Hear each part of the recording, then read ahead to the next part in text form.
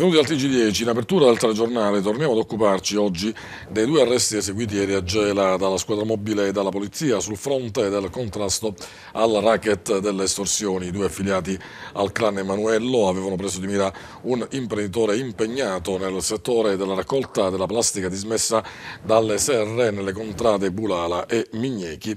La vittima ha denunciato grazie all'opera dell'associazione anti-racket Gaetano Giordano che è riuscita ad infondere negli imprenditori imprenditori il coraggio di raccontare quanto accaduto avendo fiducia nelle istituzioni e oggi noi ne abbiamo parlato con il presidente dell'Antiracket Renzo Caponetti. Renzo Caponetti, è stato facile convincere l'imprenditore a denunciare? Qualche eh, problema c'è stato, nel senso che eh, stiamo parlando di appartenenti a Cosa Nostra, stiamo parlando di esponenti principali pericolosi, mafiosi, molto conosciuti, quindi come tutta la famiglia Trubia e tutti gli altri a seguito, che minacciavano anche con le armi eh, se si opponevano al loro gioco mafioso. Quindi questo tipo di estorsioni che si sono inventati in questo ultimo periodo aveva messo ancora di più in difficoltà gli imprenditori alla denuncia. Però io sono um, uno di quelli che eh, piano piano mi piace lavorare e sono riuscito nell'intento e, e far capire loro che oggi noi siamo dalla parte giusta, non ci sono alibi, le istituzioni ci sono, lo Stato c'è, le forze dell'ordine sono con noi, la procura, la magistratura, quindi ho fatto capire loro che l'unica via era quella di denunciare e ci siamo riusciti alla grande. C'è un vero e proprio diktat da parte dei clan mafiosi, chi non paga non lavora. Ecco, loro volevano mm, far mettere queste, queste, leggi, questo regolamento, diciamo, tra virgolette, volevano mettere nel territorio compreso tra, tra Gela e Vittoria, però hanno trovato in mezzo questo ostacolo grande dell'associazione anti-racket e le istituzioni, le forze dell'ordine, in questo caso con la polizia, che effettivamente hanno strongato sul nascere, ma le cose non erano finite lì c'erano ancora delle cellule ecco, che ancora eh, forse non erano state individuate che con eh, un'attività investigativa ulteriore della squadra mobile con Marzia Giussolisi, del commissariato di Gela con eh, eh Francesco, il dottor Francesco Marino sono riusciti ad individuare con l'ennesima denuncia degli imprenditori che abbiamo accompagnato. Ieri dunque nel corso dell'operazione RDVV2 sono stati arrestati due soggetti, due esponenti del clan Emanuello. Secondo lei l'operazione è conclusa o ci saranno anche degli sviluppi? Ci potrebbe essere ancora qualche altro componente da sottolineare e tenere sott'occhio. Come Federazione Nazionale Anti-Racket avete anche promosso un video che è sui social e che riguarda anche Gela ed alcuni imprenditori di Gela ci hanno messo se vogliamo la faccia perché hanno denunciato i propri aguzzini. Sì, questo è un docufilm che ha fatto la FAI con il partenariato del Ministero dell'Interno, si chiama Pillole di coraggio. Lo consiglio a tutti di vedere, basta andare in internet e scrivere pillole di coraggio, fai o anti-racket, spunta immediatamente, uno clicca e vede il video e lì nel docufilm si vedono parte degli imprenditori, gli imprenditori sono 174 esattamente, quindi eh, per esigenze di spazio ne abbiamo fatte vedere qualcuno, ma già ci mettono la loro faccia. Ora e questi di ora non, è illogico mettere la faccia ora, ma fra qualche anno, fra 5-6 anni, anche loro ci metteranno la loro faccia e possibilmente sarà fatto un altro docufilm. Denunciate sempre. Denunciate assolutamente senza nessun timore. Ripeto, non ci sono alibi, lo Stato è con noi, le forze dell'ordine ci sono, anche se siamo a volte un pochettino sotto organico, però sono abilissimi nelle investigazioni. Cambiamo argomento e adesso parliamo della vicenda legata all'adesione di Gela alla città metropolitana di Catania. Oggi interviene il segretario di Fratelli d'Italia Alleanza Nazionale Gaetano Minardi. Gela alla città metropolitana di Catania. Si parla tanto dell'emigrazione nell'area attenea, ma oggi, giovedì 6 ottobre, di concreto c'è poco o nulla. A maggior ragione dopo la decisione assunta qualche tempo addietro dall'Assemblea regionale siciliana che ha bocciato i decreti legge che dovevano solo formalizzare il passaggio territoriale comunale della città del Golfo di Piazzalmarina e di Niscemi. Sulla vicenda oggi è intervenuto il segretario cittadino di Fratelli d'Italia Alleanza Nazionale Gaetano Minardi. Il passaggio alla città metropolitana di Catania, dice Minardi, è importante e porterà numerosi vantaggi. Ma noi siamo fermamente convinti che l'adesione alla città metropolitana possa essere un elemento di sviluppo per il nostro territorio. Eh, c'è molto poco in giro, siamo stati ingannati e illusi da quelli che sono i politicanti di turno i quali hanno promesso mari e monti, hanno promesso sviluppo, hanno promesso porti, aeroporti, hanno promesso riconversioni, eh, riconversioni della, della, raffineria, ma a oggi nulla e niente di tutto questo. Quindi riteniamo che l'adesione a Catania, che certamente è una città molto più economicamente diversa dalla realtà nissena possa rappresentare un, un, un elemento di sviluppo per, per, per, le nostre popolazioni. Certo poi dipende, dipende, dai rappresentanti che Gela riesce ad avere e quello che riescono a contare in un contesto come la città metropolitana di Catania. Gela ha speso quasi 200.000 euro per promuovere il referendum popolare del 2014. In tanti hanno detto sì all'emigrazione da Caltanissetta. Da allora ad oggi però non è cambiato nulla i nostri deputati o i nostri rappresentanti nei vari parlamenti dovrebbero essere quantomeno rispettosi di quella che è la volontà popolare, se no rischiamo di valere quanto il due di coppe. Già contiamo poco per questi signori, ma se non tengono conto nemmeno di un referendum popolare eh, andiamo proprio male. Il segretario di Fratelli d'Italia Alleanza Nazionale si rivolge direttamente all'amministrazione comunale. Noi dobbiamo capire, capire l'amministrazione comunale se è d'accordo e mi pare che Messinese e la sua giunta sono concordi a questa adesione di progetto all'adesione all'area metropolitana, di conseguenza devono aspettare tutti gli atti inerenti a questa richiesta. In occasione della festa della Madonna del Parto, che si venera nella chiesa di Sant'Agostino a Gela, si terrà domenica 9 ottobre alle 17.30 la benedizione delle mamme in attesa, presieduta da Monsignor Corrado Lorefice, arcivescovo di Palermo, e dal vescovo di Piazza Almerina, Monsignor Rosario Gisana. L'animazione della celebrazione eucaristica è stata affidata al CAV, Centro di Aiuto alla Vita, e al Coro Cor Unum. Saranno presenti i soci del Sol Optimist di Gela che nel 2012 hanno fatto restaurare l'antica immagine. Alle 19 presso la parrocchia di San Sebastiano si terrà la celebrazione eucaristica e l'insegnamento sulle opere di misericordia tenuta da Monsignor Lorefice. Inoltre sabato 15 e domenica 16 ottobre presso la chiesa di Sant'Agostino arriveranno dal santuario di Cascia le reliquie di Santa Rita. Il reliquiario in quest'anno giubilare sta visitando tutte le chiese nel mondo mondo dove si venera la santa dei casi impossibili. È stato firmato il contratto integrativo provinciale che estende i suoi effetti ai lavoratori dipendenti dalle imprese edili ed affini della provincia di Caltanissetta.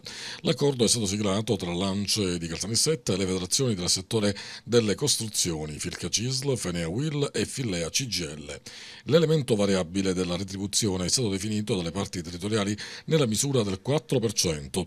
Il contenuto, in alcuni suoi passaggi, presenta elementi fortemente innovativi per il territorio nisseno, come il capitolo riguardante riguardante il contratto unico di cantiere.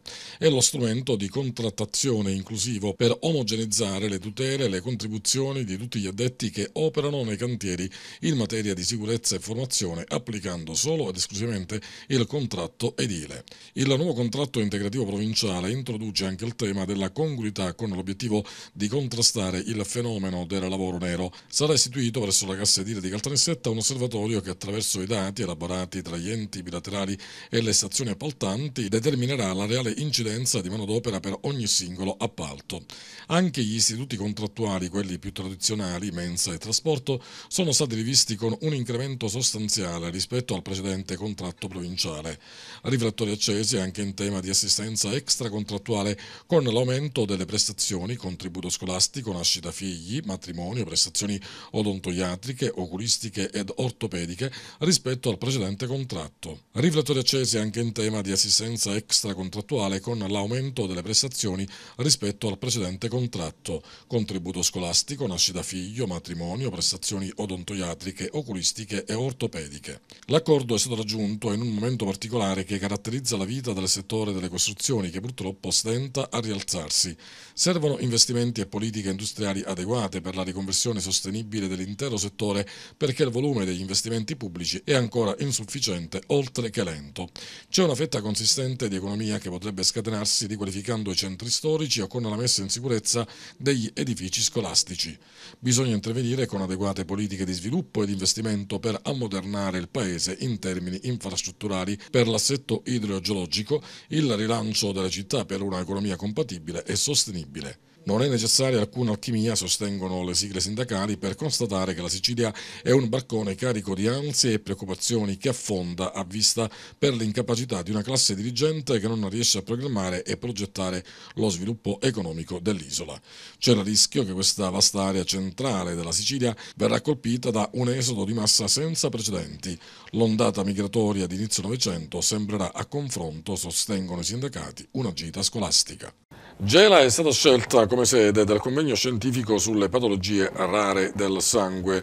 Ne dà notizia l'Associazione Italiana Pazienti con Malattie Mieloprofilerative, presieduta in città da Giacomo Giurato. Obiettivo di questa realtà è quello di aumentare le opportunità di ricerca scientifica sulla causa e la cura della mielofibrosi, di divulgare la conoscenza della malattia fra i pazienti e i medici e di promuovere un'assistenza adeguata ai malati e alle loro famiglie.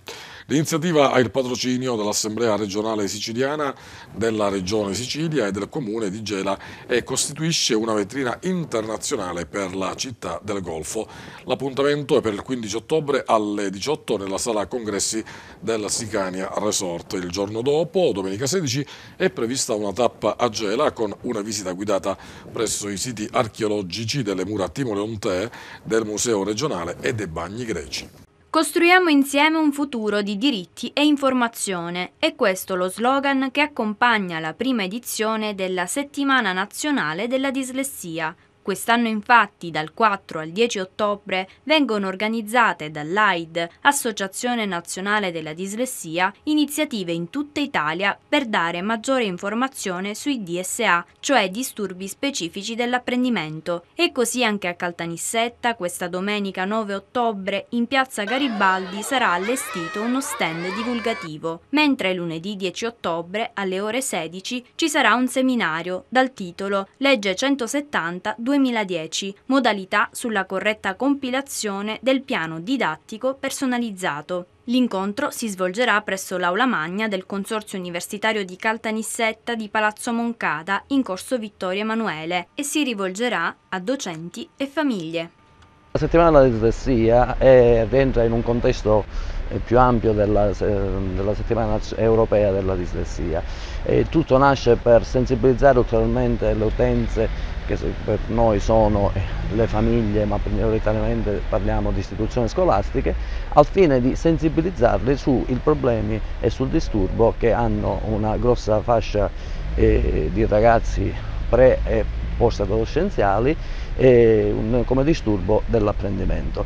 Il nostro compito fondamentale è proprio quello di sensibilizzare le istituzioni e più che sensibilizzare, sensibilizzare e informare sia le istituzioni scolastiche che i nostri soci su che, su quali sono i diritti nonché le possibilità di aiuto che possiamo dare ai nostri ragazzi. In questo contesto eh, rientra il seminario e il, gli stand che faremo in piazza che servono proprio per eh, pubblicizzare al meglio sulle corrette modi di operare con i ragazzi dislessici.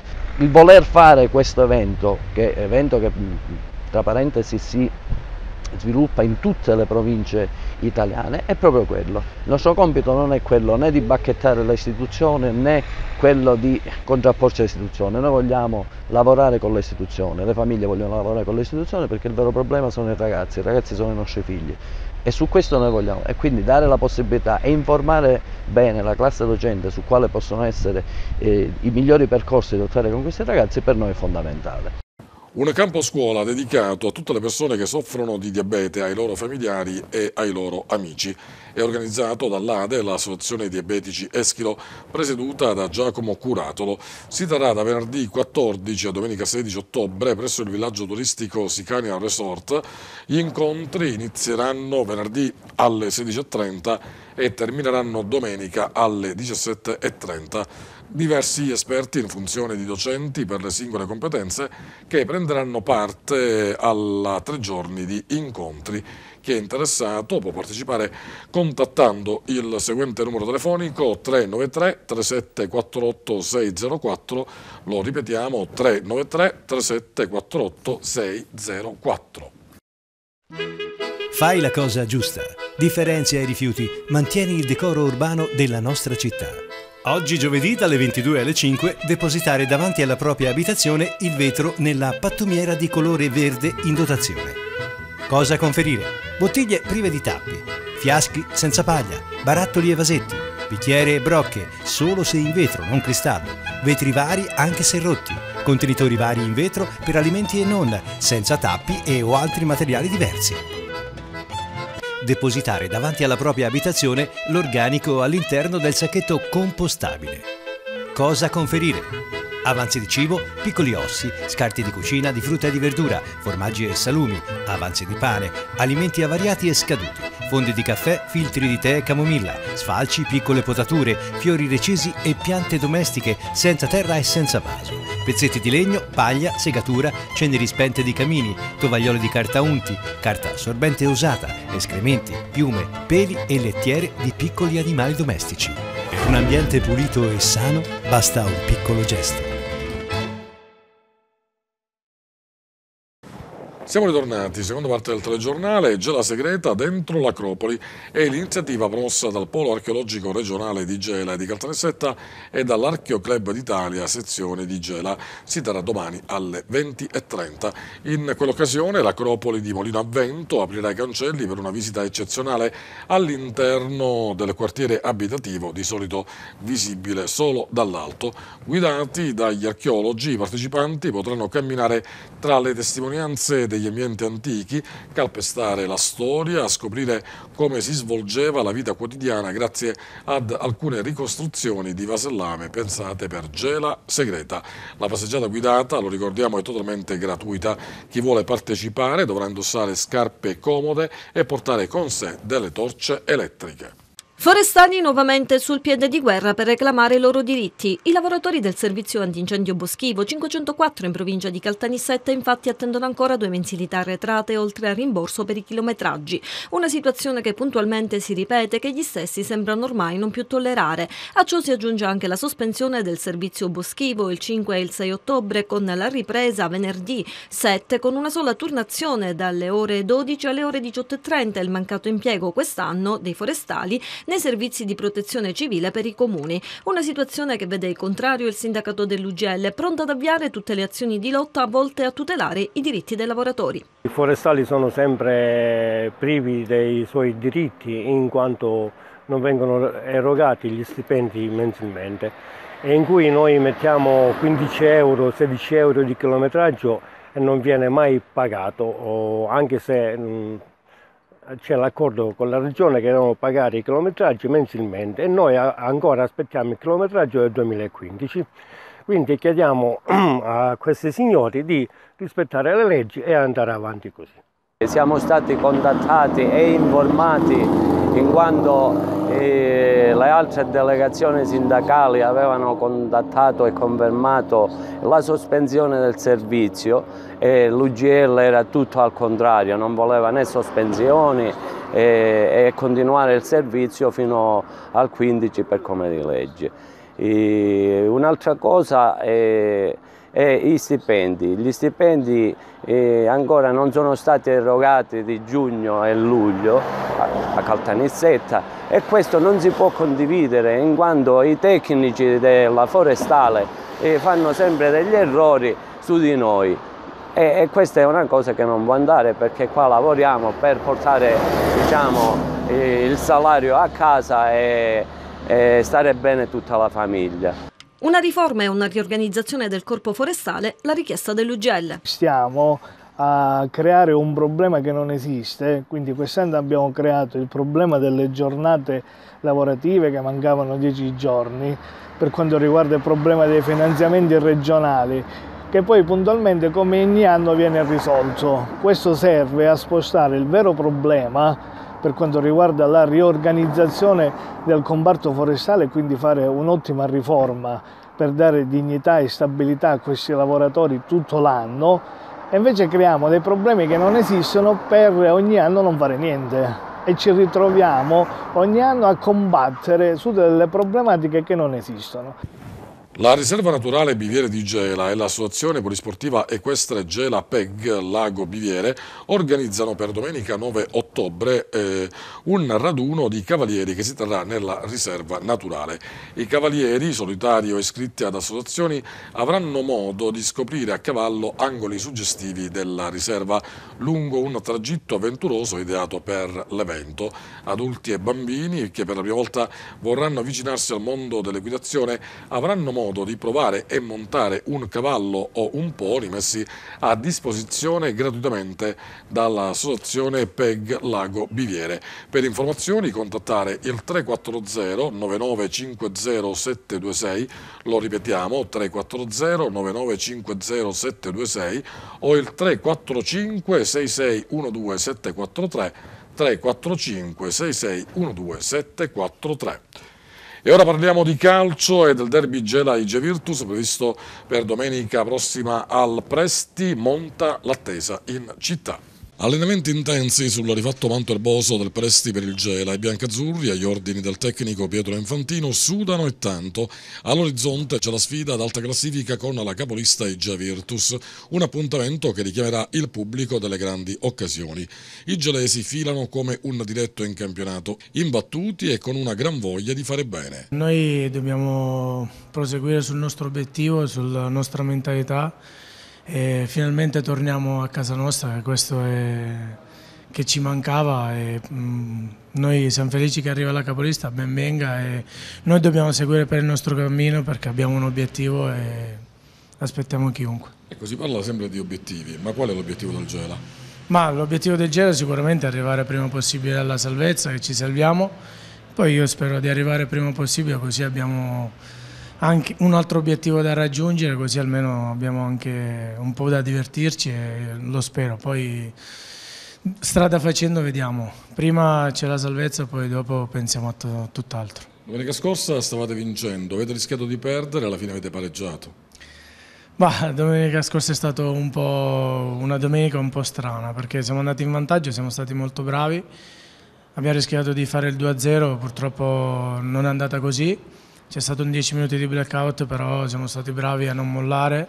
Questa infatti è la forza del gruppo e devo dire grazie ai miei compagni perché non abbiamo mollato fino al 95esimo e questa è la nostra forza e quello che ci trasmette il mister è quello in cui stiamo lavorando da quando è arrivato il mister. Perciò questo è un grande gruppo che non molla. Se vince, si vince, si perde, sicuramente si stringe la mano all'avversario, ma noi fino al 95esimo questo è il nostro obiettivo di non mollare. Domenica finalmente si tornerà a giocare al Presti e come dicevamo saranno in tanti a recarsi allo stadio e l'apporto dei tifosi sarà fondamentale. Questa è la nostra casa e deve essere il nostro fortino e domenica quando siamo andati a Leonforte è mancato il pubblico è mancato il terreno di gioco perché noi siamo una squadra che stiamo tentando di giocare a calcio e ti posso garantire che tutti voi siete il dodicesimo uomo in campo. L'Associazione Italiana Arbitri indice il corso nazionale per arbitri di calcio per la stagione sportiva 2016-2017. Le iscrizioni dovranno essere accolte tramite le 211 sezioni dislocate sul territorio nazionale entro il 31 ottobre. Per la provincia di Caltanissetta saranno organizzati due corsi di cui uno a Gela promosso dal referente AIA Riccardo Zagarini. Possono partecipare gratuitamente tutti i candidati di ambo i sessi che siano cittadini della comunità europea che abbiano compiuto alla data dell'esame il quindicesimo anno di età. Al termine del corso il candidato dovrà sostenere una prova di ammissione all'esame, prova che prevede dei test scritti e orali sul regolamento del gioco del calcio e un test di idoneità atletica. Per informazioni 0933 91 11 09 338 45 96 071. È scattata la campagna abbonamenti per la stagione teatrale 2016-2017 all'antidoto di Macchitella a Gela. Il cartellone, che comincerà il prossimo 23 novembre, prevede tra gli altri l'esibizione di Pippo Franco. L'abbonamento intero costa 70 euro, 55 euro ridotto per i giovani. Ci sono anche dei numeri telefonici per avere ulteriori informazioni. 338 7143 293 330 225442 0933 822707 e nuova stagione teatrale anche all'Eschilo di Gela. Dall'8 novembre eh, in scena i più grandi artisti italiani del teatro e della televisione. Gabriel Garco, Ugo Pagliai, Raimondo Todaro, Marco Bocci, Mariangela D'Abraccio, Enrico Guarneri, Tuccio Musumeci, Marisa Laurito, Gianfranco D'Angelo, Barbara Boucher ed altri ancora. Per informazioni recarsi in teatro ogni giorno dalle 10 alle 12.30 e dalle 17 alle 20. Ci sono due numeri telefonici 0933 91 18 92 e 345 58 80 580. In questo caso il prezzo dell'abbonamento è di 90 euro. Abbiamo concluso anche per oggi, grazie per averci seguito, appuntamento alle prossime edizioni.